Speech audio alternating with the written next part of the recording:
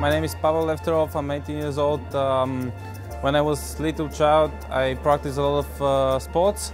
And uh, when I was eight, my father brought me to the karting track. So uh, I fell in love with the sport. I started racing, and uh, we managed to win six national titles, two European, one uh, vice champion.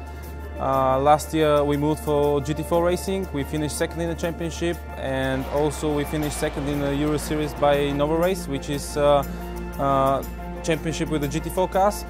This year we were approved from Audi for the Audi TT championship, uh, which was uh, quite okay for us because the level is really high and it's really difficult to get into this kind of championship.